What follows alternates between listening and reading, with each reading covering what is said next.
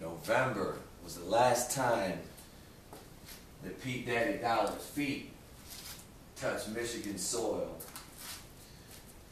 December, not only was Pete Daddy Dollar deprived of the UWA, but the UWA fans were deprived of Pete Daddy Dollar, the commish, the man who runs the ship.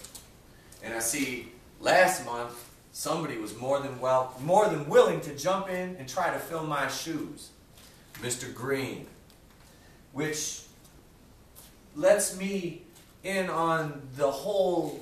There seems to be a conspiracy to keep me away from the UWA to try to usurp my authority.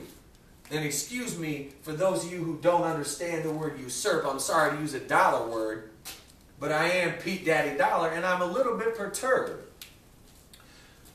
But let me get to my point.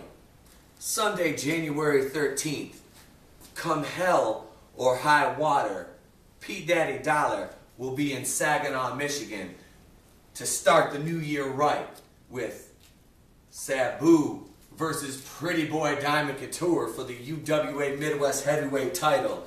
The new UWA Heavyweight Champion Alcatraz is going to be on hand. And Prime Time is going to be back in the 989, baby. So you better get your popcorn ready because it's showtime!